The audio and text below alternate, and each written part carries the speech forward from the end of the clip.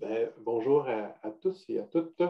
Euh, euh, aujourd'hui, on, a une, première rencontre de la communauté conscience pédagogique cette année. J'ai proposé un ordre du jour avec Annick là, assez, assez simple, pas très directif. J'ai envoyé, on vous a envoyé un petit sondage pour vous demander c'était quoi vos défis et vos enjeux actuels euh, comme CP en FGA. Euh, J'ai suggéré aussi dans le dans l'autre jour qu'on pourrait parler de savoir l'expérience, de savoir scientifique. C'est un sujet qu'on avait déjà un peu couvert. Puis, euh, vu que récemment, j'avais relu d'autres choses, peut-être, euh, si c'est nécessaire, on pourrait regarder ce, sujet-là. Mais on a eu six réponses au sondage.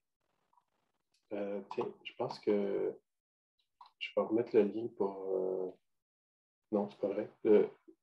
J'ai juste réponse au sondage. La première question, c'est de savoir euh, le, niveau d'expérience des gens. Euh, parmi ceux qui ont répondu, euh, j'ai 50% des gens qui sont CP depuis moins de trois ans, 33% des gens qui sont CP depuis entre 3 et 7 ans. Puis, il y a une personne, je pense, qui a répondu qui était CP depuis très longtemps. On va dire a plus que 7 ans, c'est très longtemps. J'ai choisi 3 à 7 ans. Pourquoi? Parce que les études de, euh, démontre que l'identité professionnelle, euh, le moment où on, se dit oui, je suis vraiment CP, puis je ne suis plus un imposteur, puis je suis vraiment en, confiance, puis je sais où est-ce que j'en suis dans mes dossiers, c'est entre 3 et 7 ans selon les études, selon les métiers, mais en général, on s'entend que c'est là-dessus. C'est pour ça que je l'ai vraiment délimité 3 à 7 ans. Mais euh, il, y en a, pour qui ça arrive vite, il y en a que ça prend plus de temps. Puis je pense aussi que le, fait qu'on on est en FGA, c'est un peu particulier aussi, fait que des fois, ça peut être plus ou moins long de bien comprendre le milieu. comme je discutais avec d'autres personnes aussi, les attentes par rapport à ce qu'on nous demande sont un peu différentes des fois. On voit qu'on a des gens qui sont là depuis trois semaines et deux mois. Bienvenue parmi nous. N'hésitez pas à venir nous voir. Ben, en fait, c'est ce que j'avais le sentiment déjà qu'on avait euh, sûrement affaire avec, des gens qui c'était plus récent. Il y a beaucoup de changements de chaise dans plein de milieux. Il y a beaucoup de nouveaux dossiers. Bien, l'idée, c'est que la communauté, ce soit un endroit où vous puissiez échanger avec d'autres collègues sur, vos défis et sur vos enjeux. Euh, c'est un peu ça l'idée du sondage, puis c'est un peu de voir ce que vous aviez à, dire là-dessus. Euh, le but de la patente, ce n'est pas que je parle tout seul tout le temps. n'hésitez pas en tout temps à faire des signes de main, euh, cliquez sur le petit bouton en bas, lever la main. En fait, pendant que j'y pense, c'est qui, qui est ici pour la première fois? Là? Il doit en avoir quelques-uns avec euh, deux semaines, deux mois puis trois semaines. Hein? Natacha, c'est ta première fois? OK. Euh, je, suis accompagné d'Annick euh, Fortin. Vous allez voir, c'est souvent par elle que vous allez recevoir les invitations. C'est Annick qui fait tout l'ouvrage. Moi, je fais juste jaser pendant l'heure. Puis après ça, c'est Annick qui fait toute la job en arrière. Comme la secrétaire à Martin. ah, justement, il fallait que je t'envoie des documents. non, c'est ça c'est ça, Annick est toujours là avec nous autres aussi, là, Aquanim avec moi, euh, ces rencontres-là. Euh, Pour ceux qui ne me connaissent pas, peut-être je vais me présenter. Là, moi, je suis au récit FGA euh, depuis huit ans. Je pense que je fais partie de la gang de vieux, mais ce n'est pas moi qui avais répondu dans le sondage, que ça faisait longtemps. Donc, fièrement CP, c'est ça, je suis CP ici, le FGA. Tout le monde dans vos communautés, vous avez tous dans votre coin un récit régional. Moi, je suis au Bas-Saint-Laurent. Vous avez tous un récit régional, mais personne d'autre a des Annick Fortin. Il n'y en a qu'une, une unique. On est content de l'avoir avec nous autres. Euh, donc, important, oui, comme Charles disait, je veux qu'il y a des gens qui ont été dans le document de présence euh, mettre leur nom pour qu'on puisse vous recontacter par la suite. Puis, euh, ben, c'est ça dans le clavardage, dans la discussion. Vous avez le lien vers le document collaboratif. Je n'ai vous jamais pour aller ajouter des choses, corriger des choses.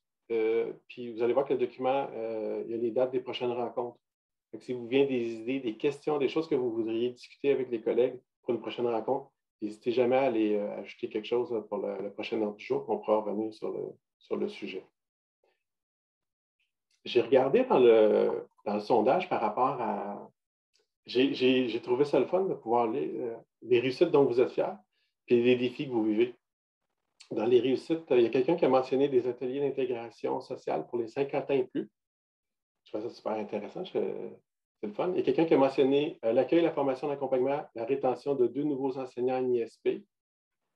Quelqu'un qui nous a dit euh, J'ai réussi tranquillement à créer un lien de confiance avec les enseignants. Ouf! Super important comme conseil pédagogique d'avoir ce lien de confiance. je trouve que c'est effectivement une belle réussite. Quelqu'un a mentionné implantation du renouveau pédagogique 100 heures. Bon, là, il ne faut pas se vanter quand on réussit à implanter le, renouveau pédagogique. C'est peut-être pour ceux qui ont de la misère à le faire. je trouve ça super la fun que vous soyez fiers de ça. Quelqu'un a dit euh, J'ai apporté une, formule qui contribue à améliorer le climat des rencontres équipe matière. Euh, je ne sais pas c'est qui. Je serais curieux d'entendre qu'est-ce que c'est cette formule-là. Justement, quelqu'un qui a parlé de l'intégration des cours virtuels. Donc, ça, c'est des réussites dans le, sondage dans ceux qui avaient répondu. Est-ce a quelqu'un se reconnaît avec l'histoire de formule qui contribue à améliorer le climat? Oui, c'est moi qui ai écrit ça. OK. Euh, oui, bien, en fait, euh, c'est ça. cette année, on change un petit peu d'approche. Euh, on, y va un petit peu plus sous la forme d'une communauté de, de pratiques. Donc, il y a des il y a des mises en commun. Puis là, pour la première rencontre, elle était tôt en début d'année, donc ça a été euh, plus sous la forme d'un travail de tous les enseignants ou d'un partage de tous les enseignants lors de la rencontre pour les rencontres à venir, euh, ce qui a été euh, décidé, c'est que ça va être certains enseignants qui vont euh, présenter des, des pratiques pédagogiques ou autres éléments qu'ils ont mis en place, mais pour en faire bénéficier les gens parce que c'est des rencontres de. C'est pas juste par centre, c'est des petits centres à la FGO où je suis. Donc, c'est des enseignants en matière de tous les centres, les quatre centres ensemble fait qu'ils vont pouvoir présenter euh, sur différents aspects, euh, soit pédagogie ou autre, mais des pratiques ou des éléments qui, vont, euh, qui fonctionnent bien ou qui ont, qui ont expérimenté en classe. Puis sinon, mais ça peut être aussi de d'interpeller suite à, la suite de défis ou de difficultés rencontrées, d'interpeller les collègues pour trouver ensemble euh, des solutions. Fait que c'est, un peu l'approche d'une COP, là, je dirais, si je pouvais comparer, mais en tout cas, euh, pour la première rencontre, ça a été euh, très apprécié, l'évaluation, le, fonds qui est envoyé par la, à la suite de la rencontre, les commentaires étaient très positifs. Fait que je pense que c'est quelque chose qui fonctionne bien.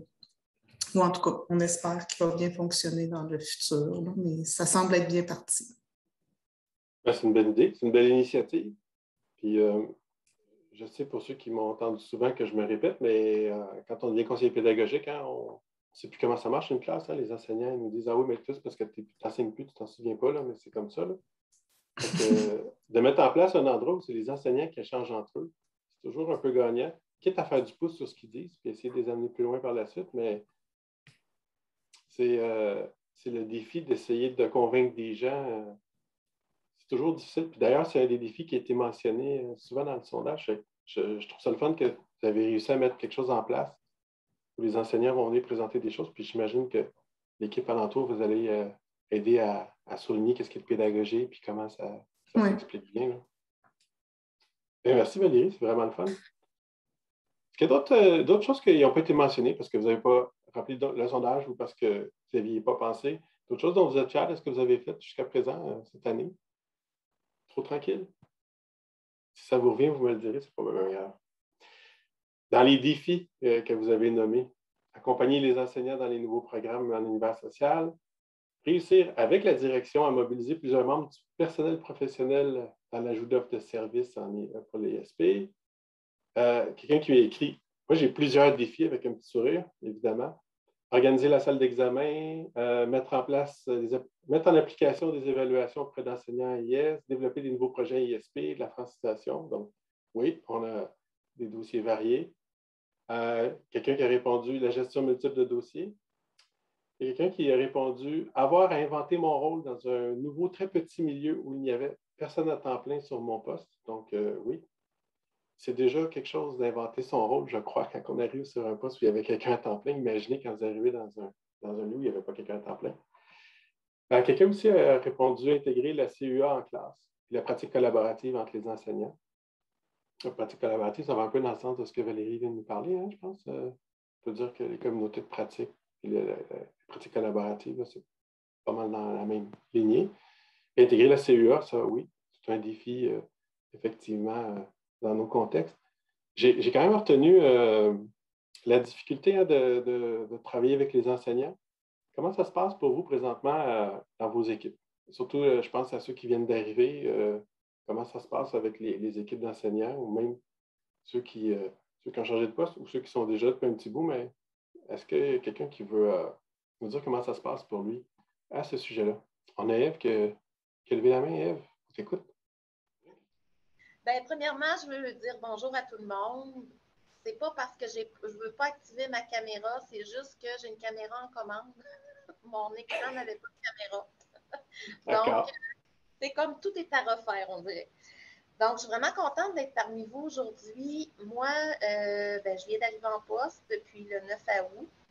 Euh, j'arrive du secteur professionnel, j'ai enseigné en santé, donc c'est vraiment nouveau le rôle de CT. Euh, puis, ben, c'est ça, c'est moi qui avais dit là, que j'avais réussi à créer un lien de confiance, je pense un début de lien de confiance avec les enseignants. OK. Euh, ça, ben, je pense que c'est. Je suis contente de ça parce que c'est pas toujours facile. C'est des enseignants qui ça fait longtemps qu'ils sont ici, qui ont une belle expérience de travail. Donc, je ne suis pas arrivée avec euh, mon gros rouleau compresseur non plus. Donc, euh, l'écoute, euh, vouloir comprendre leur réalité aussi, puis vouloir collaborer avec eux, je pense que c'est gagnant. OK. Qu'est-ce qui fait que tu sens que le lien de confiance est en train de se Comment tu le vois? Quoi tu observes? Ben, ils viennent me voir. ils, viennent, ils reviennent me voir. Donc, je me dis, gagnant, là. Il me pose des questions, puis euh, je n'ai pas les réponses à tout, mais euh, je les cherche. Puis on cherche ensemble des solutions, donc euh, c'est aidant. C'est bon? OK. parfait. Eh, parmi les, plus anciens, est-ce qu'il y en a qui ont des idées de, trucs que Eve pourrait prendre ou n'importe qui d'autre au passage pour créer ce lien-là? Que Jean-Félix, tu avais levé la main. Je ne sais pas si tu là-dessus d'intervenir sur autre chose. Je t'écoute. C'était là-dessus. C'était là-dessus. Euh, concrètement, ce que je trouve euh, intéressant avec les années, justement, euh, ben, pour ceux qui sont nouveaux, j'allais dans la même suite d'idées, Martin, t'inquiète. Euh, ce que je trouve intéressant, c'est que moi, j'ai pris vraiment le temps de créer un lien avec les individus avant de, leur vendre ma salade, si on peut dire. je suis un collègue d'Annick, justement, en technologie éducative. Donc, souvent, c'est une bébite qui est à double tranchant. Donc, on, on voit autant d'avantages que d'inconvénients à passer dans le milieu numérique. Donc, mm-hmm. euh, c'est sûr qu'il y a des gens qui sont très rébarbatifs à avoir besoin d'assistance à ce niveau-là. C'est d'avoir du temps avec les gens pour les connaître, ce qui donne de la crédibilité, puis pouvoir euh, avoir l'opportunité de, créer des liens. Eux autres vont te mentionner leurs besoins. En tout cas, moi, dans mon cas, j'ai l'impression de récolter. Euh, je récolte là, maintenant au bout de trois à quatre ans. Je commence ma quatrième année, puis ça commence à apparaître. C'est encourageant pour, euh, pour, les gens qui commencent. Après quatre ans à ce que tu crées des liens, c'est bon signe. C'est vraiment. Fait que faut, faut pas désespérer. Ceux qui ont trois ans et moins, ça s'en vient. Vous êtes presque rendu. Ceux qui ont deux semaines, là, inquiétez-vous pas. Il y aurait juste trois ans et 52 semaines à faire, puis ça va arriver. Merci, Jean-Félix. Nathalie? Bien, ça prend du temps, ça se bâtit au jour le jour, au quotidien, mais il faut vraiment être à l'écoute. Euh, moi, j'ai eu plein, plein de bonnes idées quand je les écoutais, mais des fois, je disais, on va faire ça, ça, ça, mais ce n'est pas ça qui fonctionne. Il faut vraiment y aller avec ce qu'ils ont le goût de faire parce que c'est ça qui les anime. Donc, ils vont être motivés. Puis souvent, quand on est animé, motivé, ça fonctionne avec les élèves. Donc, euh, moi, c'est ça que j'ai appris, c'est de les écouter beaucoup, beaucoup, puis de peut-être poser des questions juste peut-être pour pister. Et oui, c'est le temps qui, qui, euh, qui fait qu'il y a une belle relation puis qu'ils reviennent après. Effectivement. Attends, l'écoute. Je pense que ça va ensemble un minimum. Il faut avoir de l'écoute. OK. Ben, merci. Euh, Nathalie? Richard? Oui, ben, moi, dans la position où je suis présentement, c'est-à-dire que ça fait quatre ans que je suis, euh, que je suis aux après-cours, mais avant, j'étais ressources régionales. On est rendu la troisième personne qui me remplace dans, la région. Donc, je trouve que la continuité, c'est un défi. Puis pour eux, ce qui est difficile, c'est de recommencer à faire des contacts parce que là, les, profs, ça fait la troisième ou la quatrième fois qu'on essaie de faire des contacts avec eux.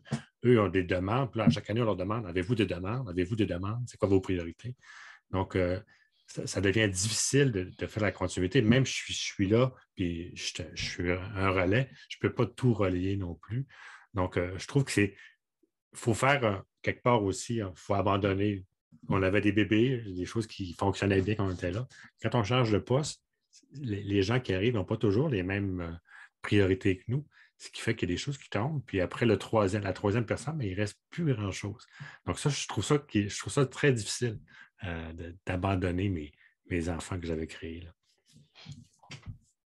Mais je trouve ça encore plus difficile pour eux de recommencer toujours la roue. Puis je me dis, en tant que prof, parce que j'ai vendu de l'assurance aussi, puis c'est la même chose. Quand tu changes d'agent d'assurance, tu te fais rappeler tout le temps, ah bon, je viens de perdre mon agent d'assurance avec qui j'avais un lien, ou je viens de, mon, je viens de perdre mon conseiller avec qui j'avais un lien. Donc, pour les profs, toujours refaire ce lien-là, j'imagine que ce n'est pas évident. Oui, c'est vrai, hein, on, parle, de notre côté, mais effectivement, du côté des enseignants non plus, ce n'est pas simple. Puis effectivement, ben, dans les différents milieux, selon les différents dossiers, euh, il y a des changements.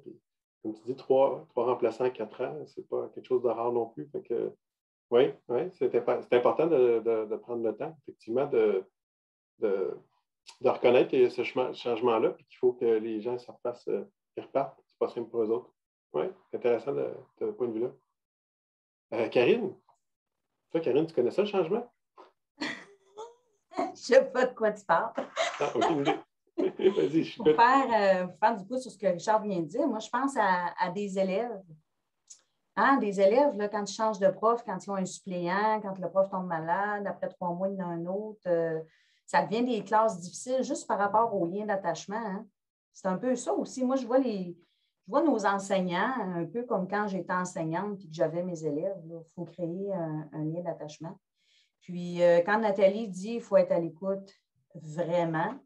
Puis des fois, juste d'être à l'écoute, puis tu sais, moi aussi, là, il peut m'en popper plein d'idées dans la tête, là, que ah, je me semble que je ferais ça, je ferais ça, puis on pourrait faire ça, puis on pourrait faire ça. Mais comme Nathalie disait, si l'enseignant qu'on a devant nous n'est pas là, des fois, c'est ça, les écouter, juste les écouter, juste les questionner. Ils sortent de, notre bureau des fois, puis on n'a pas dit ce qu'on aurait voulu dire ou pensé dire, mais ils sont tellement contents, puis ils repartent eux-mêmes avec un bagage de solutions, puis nous, on a l'impression, dans le fond, de ne pas avoir fait grand-chose, mais juste le fait qu'ils viennent verbaliser avec nous, puis qu'il y ait comme une rétroaction, qu'ils viennent se valider un peu, on dirait que c'est ça qui, les fait avancer. Puis pour faire du pouce maintenant avec ce que Jean-Félix a dit, quand il dit qu'il a créé des liens avec les individus, ça, là, c'est tellement important. Tu sais, au-delà de la matière, au-delà du rôle enseignant, la personne, c'est quoi ses intérêts? Moi, là, si je commence ma dixième année, c'est moi qui ai répondu que j'étais CP depuis longtemps, mais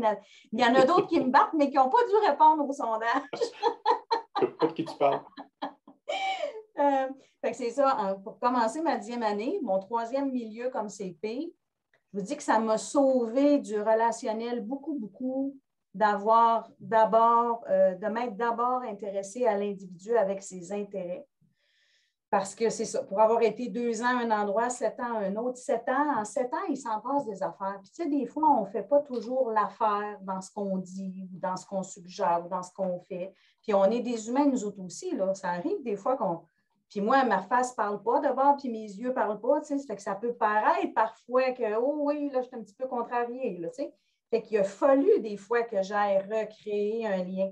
Mais comment je m'y suis prise? Par l'intérêt personnel, des casse-têtes, des minous. Ça, c'est gagnant, Émilie Minou, je vous le dis, là.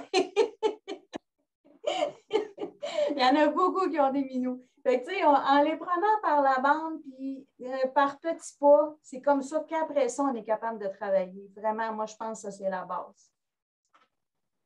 Oui, bien, surtout que sur notre rôle, c'est de les amener à, faire des changements. Puis on a une résistance naturelle au changement. Je pense que ça prend de confiance pour euh, amener quelqu'un à faire des changements. Fait clairement, en tout cas, j'y crois. D'avoir des bonnes relations avec les gens parce que j'y crois vraiment aussi. Mais bon. Euh, oui, OK.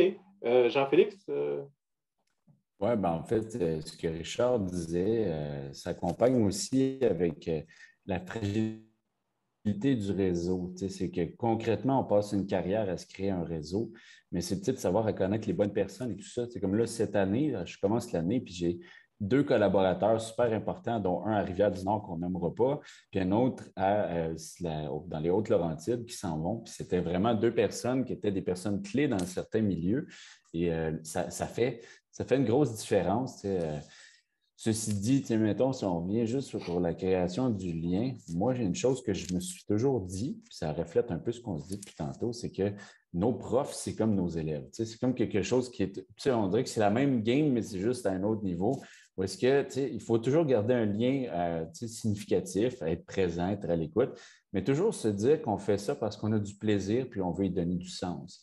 donc, nos profs travaillent très, très fort. Donc, c'est de leur offrir un environnement dans lequel ils ont du fun. On, on, les aide à aller là où ils veulent aller.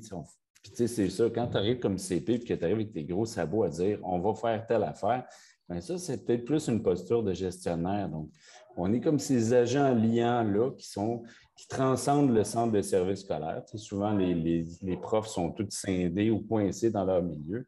en tant que mm-hmm. conseiller pédagogique, on a comme cet espace-temps-là pour réseauter, pour pouvoir euh, faire le pont entre les orientations euh, des, gestionnaires, puis de créer des liens avec les enseignants.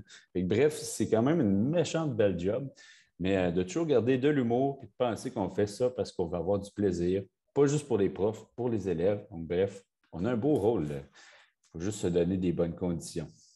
Oui, oui, ben oui, ben oui. Depuis le temps que je suis conseiller pédagogique, parce que j'y crois qu'on peut avoir du plaisir c'est un beau rôle. Sinon, je peux vous garantir que je serai ailleurs. Euh, ben oui, oui, tout à fait, tu as raison. Je trouve ça intéressant euh, aussi quand tu dis qu'il faut que ça fasse du sens.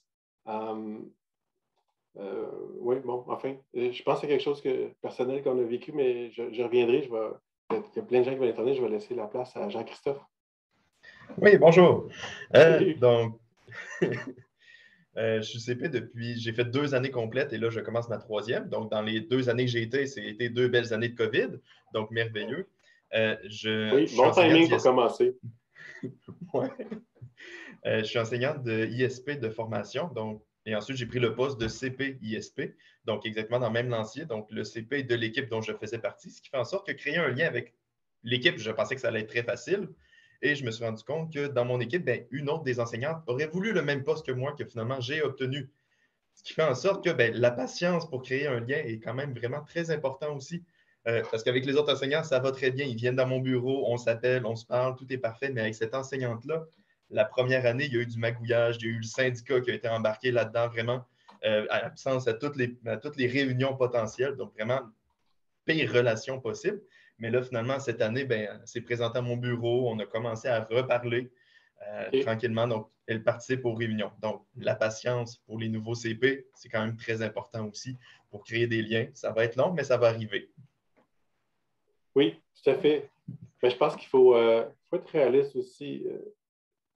Euh, il y a plein de choses à faire. Mais le, il y a le changement, le, type de changement qu'on veut pouvoir accompagner, des fois, ça prend du temps pour que ça arrive. Il ne faut pas juste changer les façons de faire, il faut changer la culture qui vient avec, il faut changer la façon de penser. je pense que de se dire, on fait ça cette année, puis ça va, ça, ça serait une grosse erreur. Fait qu'effectivement, il faut être patient pour prendre le temps. Tout à fait. Euh, ce que je voulais dire, ce qui m'est venu à l'idée euh, suite euh, au deuxième commentaire de Jean-Félix, l'un de nos gros défis, c'est que parfois on peut se sentir entre l'arbre et l'écorce, hein. entre, entre la direction, entre les gestionnaires, entre les enseignants. les, gestionnaires, notre gestionnaire va nous confier des choses, mettons, des malaises ou, des défis avec certains enseignants. De l'autre côté, on a l'enseignant en question qui a confiance en nous, qui vient aussi nous dire des choses. Euh, fait que là, c'est de trouver sa place là-dedans. Moi, ça, là, c'est quelque chose, euh, euh, c'est une situation qui me rend inconfortable quand ça arrive. Puis, tu sais, autant quand j'étais dans ma classe où j'avais des, une difficulté avec un élève, ça me tracassait des fois jusque chez moi. Mais ça, des fois, c'est des situations auxquelles je pense dans ma douche le matin aussi. Tu sais, comment enseignant-là, comment je vais l'aborder? Puis, il ne faut pas. Tu sais, c'est tout le temps une question de lien de confiance des deux côtés, tout le temps, tout le temps, tout le temps. Tu ne veux pas mentir, tu ne veux pas être hypocrite, tu veux être. Euh, moi, en tout cas, tu sais, dans ma personnalité, je veux être intègre, je veux être euh, la plus transparente possible, mais là, tu reçois des fois d'un côté et de l'autre des choses. Euh, ouf, des fois, là, ça, c'est c'est l'une des difficultés qu'on peut rencontrer. Puis si je, parle surtout au nouveau, si ça vous arrive, vous n'êtes pas les seuls au monde. Je pense que hein, Martin, Annick, Nathalie, hein, je pense qu'on le vit tous à un moment ou à un autre. Ben, surtout quand il y a des, changements qu'on veut accompagner qui semblent liés à des obligations. Fait que là, tu te retrouves entre le directeur et la direction qui qui est la, règle et puis la loi, puis la, CP qui va accompagner parce qu'il y a des croyances pédagogiques, mais là, ça vient se mêler des fois pour les équipes enseignantes. Fait qu'effectivement, ça, c'est un défi euh, qu'on peut voir souvent dans, comme tu dis, les, changements qui pourraient être en lien avec des obligations, des lois. Euh, là, j'entends parler de plus en plus de l'histoire des 30 heures chez les enseignants. Ça commence à.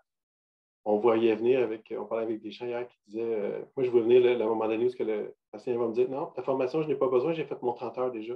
Euh, oui, mais c'est parce que tu en aurais vraiment besoin. Non, mon 30 heures est fait. on va se retrouver des fois dans ces situations-là. Oui, je comprends très bien ce dont tu parles. Nathalie, tu voulais intervenir? Ben, pour aller dans le même sens, oui, c'est des fois, il faut aller même clarifier notre rôle entre nous-mêmes, les CP dans notre équipe, puis clarifier notre rôle à certaines demandes qu'on peut avoir de, certaines directions. bon, je veux que tu viennes chez nous, tu, vas faire ça avec tel prof, ou bien on veut avoir une formation là-dessus, ou bien quelque chose où c'est où la, on ferait le rôle de la direction. Puis il y a souvent des CP, on le fait on embarque là-dedans.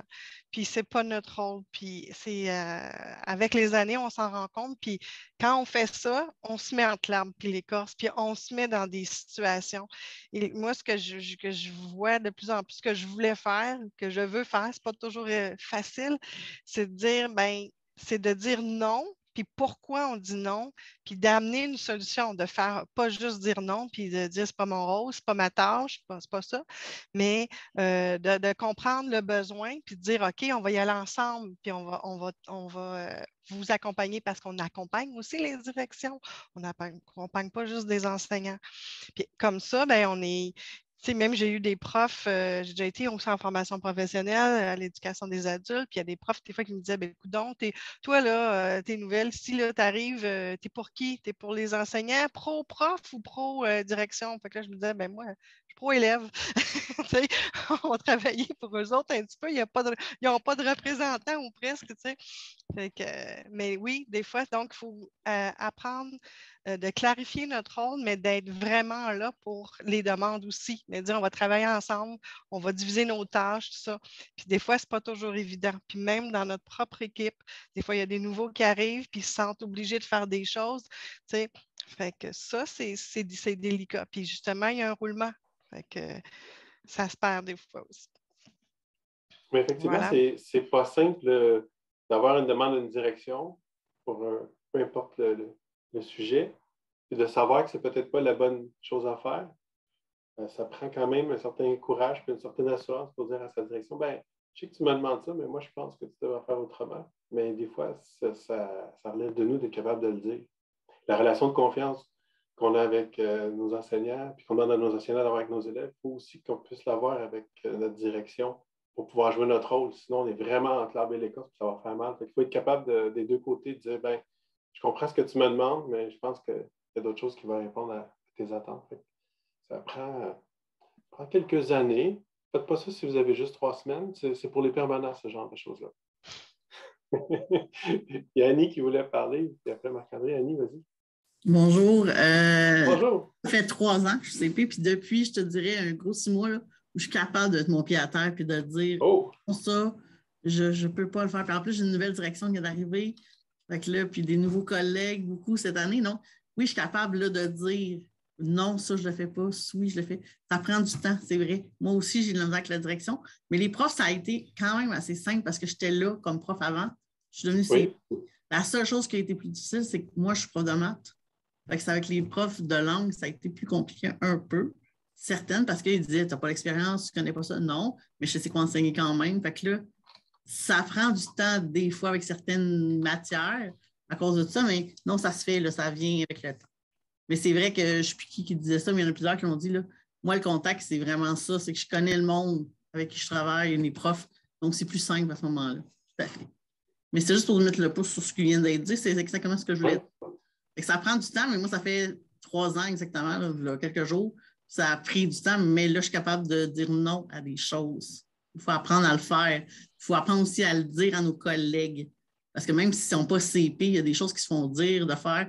C'est pas ton rôle, il faut que tu l'apprennes aussi. Tout à fait. Oui, on peut jouer ce rôle-là des fois. Euh, puis tu as nommé quelque chose que je trouve vraiment important, la crédibilité. Mm-hmm. Euh, je, l'ai vécu euh, quand je suis arrivé en poste il y a trois ans. je me suis retrouvé sur un poste où j'étais CP maths. Je n'avais jamais enseigné les maths. Ça m'a pris une grosse année à convaincre les enseignants de mathématiques que je n'avais pas besoin d'avoir donné des cours pour être capable de comprendre ce qu'ils disaient. La collègue qui était là avant moi était prof de français, puis elle a eu la misère avec, pas la misère, mais c'était difficile pour elle d'aider les profs de maths. par défaut, je ne sais pas pourquoi, moi, quand je suis arrivée, je l'ai fait naturellement. c'est devenu après, ça a été facile quand je l'ai devenu. CP, ces autres, ça a vraiment été compliqué, mais les autres, plus compliqué. Oui, oui, oui, non, c'est normal. Je souviens même de mes premières rencontres où je disais aux enseignants OK, euh, tel élève, tu as tel problème. Qu'est-ce que tu suggères, toi? Puis ils me disaient Oui, ben, c'est parce que tu es en maths, tu ne le sais pas. Non, non, je le sais, c'est parce que je veux que ça vienne de toi. je te pose des questions pas parce que je ne connais pas ça. Mais oui, c'est un enjeu. Il faut être crédible. Il faut être crédible, tout à fait. C'est important de le nommer. Merci, Annie. Marc-André, ça t'est revenu? Non, mais je passe une autre dérape. Fait que voilà. Dérape, on t'écoute. C'est beau. Euh, Annie, ben, je te lève mon chapeau que ça a pris seulement trois ans. Moi, j'étais à ma neuvième année, puis ben, à ma dixième année, puis cette année, c'est la première année où est-ce que j'ai décidé de mettre le pied à terre sur c'est quoi mes responsabilités. Euh, mon, je suis pas CP, ok, je, leur dis encore, je suis pas CP, je suis un traître parmi vous, je suis enseignant, enseignant ressources, responsable matière. J'ai eu énormément de dégagement dans dans les dernières années. J'ai fait beaucoup de développement. J'ai fait que j'avais un rôle un peu CP, un peu adjoint, un peu prof. C'était vraiment pêle-mêle. Mais ça a pris neuf ans avant de me dire, là, à un moment donné, euh, ça n'a pas d'allure. Tu ne peux pas me demander de faire de la gestion. Tu sais, j'ai eu des, des, mandats de gestion de personnel alors que j'étais sur un statut enseignant mais vu que j'avais d'autres chapeaux, en tout cas, je te lève mon chapeau. Moi, cette année, euh, je me suis rassis sur qu'est-ce que je dois faire et c'est très dur euh, à faire. Euh, tantôt, vous parliez un peu qu'est-ce qu'il fallait. Je sais que je ne suis pas CP, mais un jour, peut-être, ça va être une avenue. Mais malgré que je dis ça, mais là, cette année, c'est la première année qu'on a un CP qui, une CP qui vient de se joindre à notre équipe. Donc, euh, je l'ai invitée aujourd'hui pour qu'elle se joigne, mais elle ne pouvait pas. Donc, éventuellement, je vais, je vais laisser ma place à notre vrai CP qui vient de, commencer son rôle pour la première fois. Première année qu'on a une CP. Euh, donc, mais une chose que moi, je trouve vraiment pertinent, autant quand je reçois de la formation que quand j'en donne, euh, c'est d'être cohérent c'est d'être cohérent avec nous-mêmes, c'est d'être cohérent en fonction des demandes. Je sais, je viens de dire que ça fait neuf ans que je n'étais pas cohérent avec moi-même selon les demandes. Puis cette année, je recommence à me faire du fun réellement. de dire, bon, c'est ça mes mandats, c'est ça que je dois faire. Euh, je crois en tel type de pratique pédagogique. Je ne dis pas que je n'irai pas accompagner mon équipe en tant que chef d'équipe sur des mandats qui sont différents, mais je vais rester cohérent avec ce que je crois. Tu ne me feras pas croire tout à coup que il faut que j'enlève la différenciation pédagogique parce que euh, une direction n'y croit pas non plus ou elle voudrait m'envoyer totalement ailleurs. Donc, je pense que d'être cohérent, ça l'aide aussi à. Le monde savent à quoi s'attendre quand ils viennent te voir. Si tu as dit pommes hier, tu vas encore dire pommes demain. Voilà, c'était mon intervention. Euh, je, vais, te dire que à force de me répéter dans différentes compte que tu n'es pas CP, je vais finir par, te croire, mais je pense que c'est toi que tu veux convaincre que tu n'es pas CP. Parce que quand même, euh, je sais que ce n'est pas le titre euh, sur le papier, mais tes tâches ressemblent pas mal à tes tâches de CP, mais bon. je vais te laisser gérer ça avec ton psychologue. Hein. C'est parfait, je, je l'appellerai en fin de semaine. Merci, merci Martin. Vas-y, Nathalie, je t'écoute. En tout cas, c'est pas payant être CP en partant, là. Fait que tu peux rester prof. Il faut avoir des convictions quand même un peu. Euh, moi, ce qui me fait réagir, c'est ce qu'Annie Annie Richard a dit tantôt. Euh, puis, justement, j'en parlais avec un collègue ce matin, tu sais, des conseillers pédagogiques matière j'ai déjà été conseillère pédagogique. J'ai fait un tour en FP, puis j'étais très bonne conseillère pédagogique en FP, puis je ne connaissais pas l'électricité, je ne connaissais pas la charpenterie, la menuiserie, je ne connaissais rien, mais on travaillait sur des beaux projets, mais on avait nos rôles, chacun nos rôles, puis on, travaillait ensemble. Puis peut-être que ça, ça, pourrait venir, ce changement-là aussi, à l'éducation des adultes, parce que ça, vient, moi je suis en français, mais quand on parle, des fois, les profs me demandent de trancher, mais c'est eux c'est eux les profs qui sont les, les, euh, les experts en la matière. Donc, on devrait, on devrait, travailler ensemble. Je ne détiens pas la, science infuse, tout ça. Donc, ça, ça c'est peut-être un gros défi de dire, ben, euh, on est capable d'accompagner euh, en pédagogie des enseignants de toutes les matières. Donc, ça, c'est, ça me fait réagir Puis, c'est plate pour dans les petites places où c'est une personne qui fait toutes les matières, puis elle, était en français avant ou en maths, puis au niveau de la crédibilité, ça prend beaucoup plus de temps auprès des autres matières. Donc, euh, ça, euh, je ne sais pas comment, mais euh, c'est de la culture, donc ça peut être plus long. Mais il faut, faut en parler. Je ne sais pas. Je sais pas qu'est-ce que vous en pensez ou c'est juste moi qui pense comme ça. C'est une bonne question. C'est sûr que, en tout cas, j'ai vu souvent euh, quand on arrive comme CP, puis qu'on est CP disciplinaire, ben, je suis CP en français, ben, j'ai tendance à dire Ah, ben, si ce n'est pas du français, je ne peux pas aider le prof. Mais quand on, on se rend compte que notre rôle est plus au niveau pédagogique, on peut aider n'importe quel enseignant parce que la, pédagogie reste la même. Il y, a des, petites nuances dans la façon d'enseigner selon la, discipline, je, suis d'accord. En général, euh, la relation avec l'élève, euh, la confiance, la métacognition. il y a plein de, trucs qui restent euh, alentour de l'enseignement, de l'acte d'enseigner qui, sont détachés des fois de la discipline et qui, devraient l'être plus. Effectivement, c'est une question à se poser. Karine? Oui, Martin, effectivement. Et moi aussi, c'est le commentaire d'Annie qui me fait réagir parce que moi, ben je suis. C'est que tu parles, Annie, hein? Moi, c'est comme enseignante de français, l'inverse euh, de ce que tu dis, Annie, avec les enseignants de mathématiques. Quand je suis arrivée à Rivière-du-Loup, j'ai eu la chance de déjà connaître l'équipe de mathématiques parce que quand j'étais dans le Témiscouata à, à Cabano, euh, il y avait eu les formations régionales à Rimouski. Et euh, à chaque endroit, j'ai été CP multimatière. Puis comme j'étais multimatière, ben, j'ai participé aux formations de, sciences et techno. Quand je suis arrivée à Rivière-du-Loup, bon, l'équipe de maths me connaissait déjà, mais quand même, je me suis pas, euh, pas pris ça pour acquis. Puis euh, le discours que j'avais, c'était que c'est vous les spécialistes de contenu, c'est vous qui la connaissez, votre matière. Moi, je suis comme méta au-dessus pour me voir ça d'un autre œil parce que vous, vous avez l'émotivité rattachée à vos élèves. Quand vous regardez un examen, quand vous regardez le matériel, parce que là, je fais référence à, l'implantation du renouveau en mathématiques, euh, pour qui, euh, ces enseignants-là, pour qui ça a été euh, un gros, gros changement de paradigme. Donc, j'étais vraiment une agente de, changement dans cette implantation-là. Donc, tu sais, c'est dans ce sens-là, j'ai tenté de de nourrir leur ego un peu, si on veut, en les rassurant dans leur capacité, dans leurs compétences au niveau de la matière. Puis que moi, j'avais le détachement peut-être qu'eux n'avaient pas. Parce que c'est sûr, moi, je me ramène à moi comme prof. Euh, quand, quand je regardais un exercice, j'avais mes élèves en tête pour voir, euh, bon, avec lui, ça va être trop difficile, avec lui, il va falloir que je fasse ça, tu sais. Fait que je me dis que pour eux aussi, là, ça devait être comme ça. Puis moi, ben, j'ai le détachement puis, j'étais là pour les aider à comprendre, admettons, la grille critériée en mathématiques. Pour eux autres, là, c'était du chinois, ils n'avaient jamais vu ça. Ça, ça a peut-être été ma force de venir du domaine des langues. Mais c'est là-dessus que j'ai travaillé beaucoup, nourrir un peu leur confiance en eux, que quand ils me parlaient du cas, moi, quand j'ai fait des maths fortes au secondaire, mais le fameux cas comme variable, on n'avait pas ça. les temps ont changé, Hein, les, compétences en maths, on le sait toutes, euh, on le sait tous, ils ont été rehaussées. Fait que, bon, c'est eux qui m'en apprenaient. Je leur démontrais l'ouverture que, OK, quand on parle de ça, c'est quoi déjà? Si tu telle affaire, non, non, Karine, c'est pas ça, c'est rendu ça. Ah, OK, bon, c'est bon.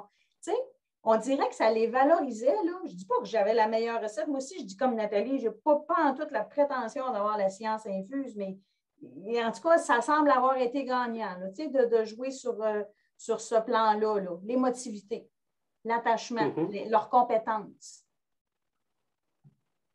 Oui, puis tu dis, euh, tu leur répètes ces autres, experts disciplinaires. Fait que déjà, tu, reconnais leur rôle, puis tu dis, mon rôle, c'est plus d'avoir le regard en extérieur pour euh, les stratégies pédagogiques et l'approche pédagogique. Ah, c'est une bonne, une bonne approche, intéressant. Merci. Marc-André? Je reviens avec mon œil de prof, euh, même si tu ne me crois pas. Euh, moi, pour vrai, toutes les fois que j'ai eu à faire de, l'accompagnement, j'ai eu à accompagner des équipes en français, maths, anglais. Euh, ma spécialité était clairement maths. J'avais tout décortiqué les programmes, mais je me rendais compte, plus j'avançais, plus je me disais, dans le fond, la, ben, la job que je m'appropriais, qui était un peu ma tâche, ma partie de tâche CP, hein, me disait, c'est pas de connaître la matière en anglais. Je suis pas bilingue, je connais rien, je suis pourri. C'était, à les profs me disaient, j'ai de la misère à passer ça quand j'ai un élève de 2 à 4. Comment je peux animer un cours quand j'ai des élèves de 1, 2, 3, 4, mettons exemple? Puis, tu sais, moi, j'arrivais juste à OK, c'est quoi tu veux. Euh, j'arrivais avec un œil neuf, un peu comme ce que tu disais, Karine, sais, d'arriver avec un autre œil que d'avoir toujours le nez collé sur ce que tu fais tout le temps. Est, si, si, c'est ça. Euh, donc, j'arrivais avec OK, y a-tu moyen que tu fasses un, mettons, un atelier? C'était pas un atelier, exemple. On disait, pars une vidéo que tu trouves humoristique, euh, ça peut être n'importe quoi. Tu as un élève en trois, là, je m'en souviens plus par cœur. Tu as un élève en trois que son objectif en anglais, c'est d'être capable de, euh, de, construire une histoire. Ben, dis par la vidéo, fais une petite vidéo humoristique qui va durer 5-10 minutes. À lui, tu lui demandes d'aller concevoir la suite de cette histoire-là.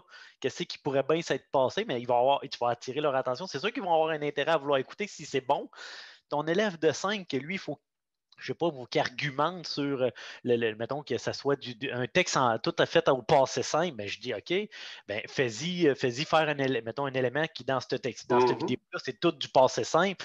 Viens travailler sur des aspects que chacun des des, chacun des, des, SIG oblige, mais avec la même capsule vidéo ou, un même texte, ou, ça fait en sorte que tu peux réussir à faire de l'animation sans nécessairement dire que tu as du livre puis que tu passes un par un. Il n'y a rien de pire que de passer du livre un par un pour tous nos élèves. C'est, c'est un démotivant pour les profs qui veulent faire autre chose. Euh, je me considère dans ces profs-là.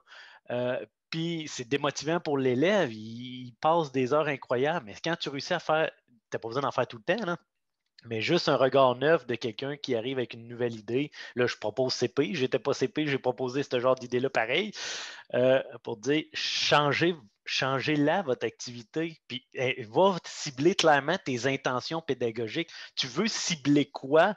Bien, pogne ton programme, découpe-le, je veux cibler ça, j'ai ces élèves-là dans tel, tel, tel cycle, qu'est-ce qu'il faut qu'ils voient? Bien, voilà, on va essayer de décortiquer euh, le texte, créer une histoire, argumenter, c'était-tu bon, pas bon, en français, c'est un peu le même principe. Elle pouvait partir avec une histoire, donner un atelier sur comment euh, bâtir un texte argumentatif. Parfait. Ben, maintenant, donne-leur un texte. Tout le monde, mettons, même si n'es pas en 5, ben, l'élève de 5 travaillait sur son texte argumentatif. L'élève de 3 euh, avait, mettons, exemple, à, raconter qu'est-ce qu'il y aurait eu avant. L'autre avait à. Peu importe. ça finit juste que c'est une vision différente que les CP peuvent apporter parce que les profs, on a trop le nez dedans tout le temps, puis on oublie qu'on peut faire d'autres choses. je préfère de loin un CP qui n'est pas matière pour ça parce qu'il ne va pas m'arriver avec les mêmes idées que j'ai déjà un, CP qui m'arrive anglais qui va venir chez nous, il va me faire sortir totalement de ma zone de confort, puis ça va faire ben, si bol, tu as peut-être raison, hein. mais CP maths, je sais, je discute avec des CP maths, puis ça finit, ben Marc-André, je sais pas quoi te dire. Tes pratiques sont bonnes, mais. Hein. mais un CP français, aucune idée de quoi je parle. Il essaye, puis souvent, il me fait popper des bonnes idées. C'est tout.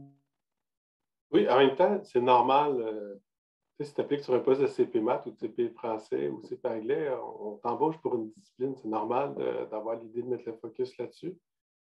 Ben, des fois, il faut se rappeler que le, titre qui précède la discipline, c'est conseiller pédagogique, puis c'est là que des fois, ça prend du temps par contre. C'est normal, je pense. Mais euh, oui, avoir le regard extérieur, des fois, c'est tout ce que ça peut, ça peut prendre des fois pour euh, allumer des nouvelles idées. Ben, tu vois, tu n'es pas payé pour un enseignant. Merci. Eve, tu veux intervenir? Oui, excuse-moi. Euh, ben non, c'est correct. Il y a plein de choses que je veux dire face à tout ce qui vient de se dire. Il y a des choses, par exemple, je veux revenir sur euh, Entre l'arbre et l'écorce, si tu me permets. Oui. Parce que j'ai vraiment aimé les interventions qui ont été faites. Ça m'aide à, moi aussi, je trouve que c'est un enjeu qui est, qui pas évident. en plus d'un nouveau rôle, là, tu te ramasses comme vraiment entre deux, euh, deux positions. Moi, j'ai aussi euh, la réalité que j'arrive nouvelle avec un nouveau chapeau et une nouvelle direction aussi. Donc, euh, ça fait ça fait beaucoup de vagues parce que bon, on s'entend qu'une nouvelle direction, ça, ça, travaille différemment d'une autre direction. Donc, les gens sur place ont besoin de s'adapter, premièrement, une nouvelle façon de faire, mais aussi à une nouvelle CP qui arrive du professionnel, qui enseignait en santé, qui n'a pas rapport avec la maths, le français, l'anglais. Donc, ça fait que c'est beaucoup de choses pour eux en même temps à assimiler puis à s'adapter.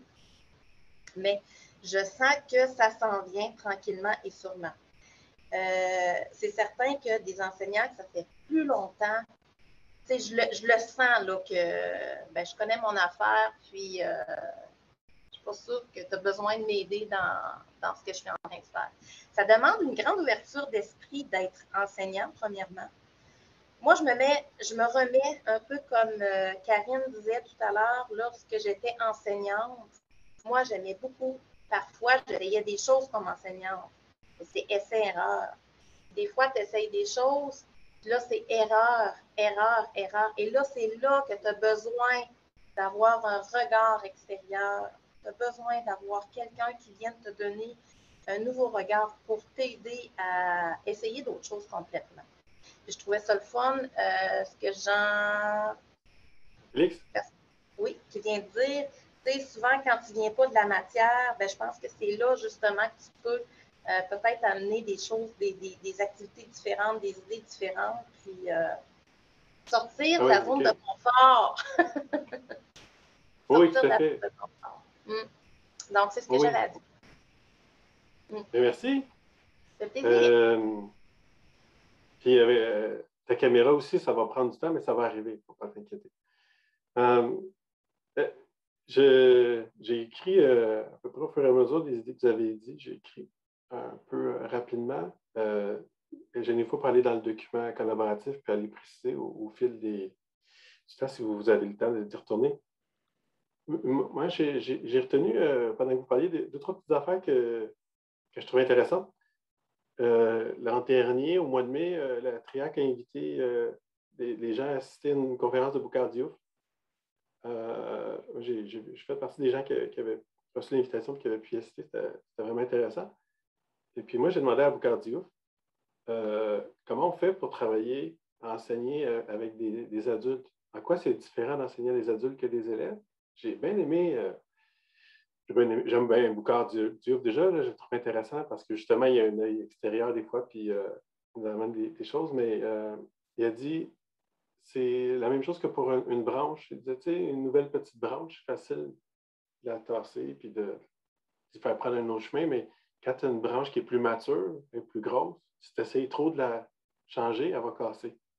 Il faut que tu sois capable de suivre son mouvement naturel puis d'essayer de tendre tranquillement à, l'amener ailleurs. Mais je trouvais ça intéressant comme, comme image. Euh, je pense que la même chose avec nos enseignants. Euh, Surtout quand il y en a parmi vous qui ont même enseigné des enseignants d'expérience. Là, ça fait longtemps qu'ils enseignent, ça fait longtemps qu'ils sont convaincus qu'ils font la bonne chose. C'est normal, j'espère qu'ils pensent qu'ils font la bonne chose. Je ne comprendrais pas quelqu'un qui fait ça longtemps en, sachant qu'il ne fait pas bien. là, nous, on est, on est là, on arrive, on leur dit ben, il y a peut-être d'autres façons de faire. Il faut être capable de suivre. C'est là que je trouve que l'écoute que vous avez mentionnée, c'est vraiment important. Les écouter, comprendre comment ils, ils réfléchissent, comprendre sur quoi, sur quelles croyances ils, basent leur euh, pratique. Essayer de voir dans ces croyances-là comment on peut euh, les questionner pour que ces croyances-là deviennent euh, la base de nouvelles pratiques. On ne peut pas changer leur façon de penser complètement, mais on peut les amener à réfléchir et dire oui, ben, ce que tu me dis là, c'est vrai. Si tu, faisais d'une autre façon, ça serait peut-être tout aussi vrai. donc, euh, les écouter, essayer de comprendre où est-ce qu'ils vont, essayer de comprendre dans quelle position ils sont pour voir comment on peut essayer de travailler euh, ensuite euh, là-dessus. J'ai aussi noté, quand vous avez parlé justement entre l'arbre et l'écorce, ben, pour ceux d'entre vous qui avaient pu faire la, formation de conscience pédagogique de l'Université de Sherbrooke, un des, thèmes qui est abordé à plusieurs reprises, c'est la compétence conjuguée. On devrait travailler de façon conjuguée avec nos directions. Ça ne veut pas dire qu'on s'assoit pour dire directeur, voici ce que tu devrais faire.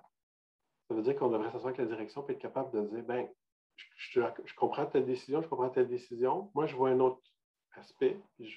Je pense qu'on pourrait peut-être modifier légèrement ta décision pour euh, aller chercher quelque chose d'autre. Mais donc, être capable d'avoir euh, ce dialogue-là avec nos directions. Pas être juste entre l'arbre et l'écorce tout le temps, mais euh, travailler ensemble. Bien évidemment, ça prend une direction qui a l'ouverture là-dessus.